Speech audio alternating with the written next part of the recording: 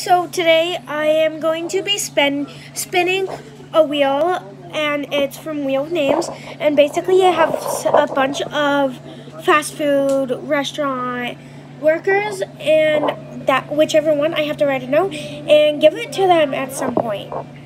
Okay, so let's spin the wheel. Um, okay, spinning. The music in the background.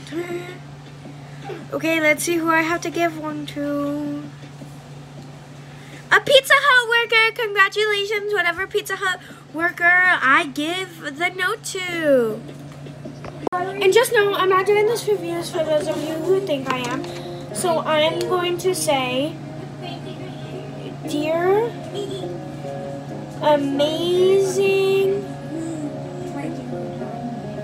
Pizza Hut worker, and I'll have to do a part two. So stay tuned for part two.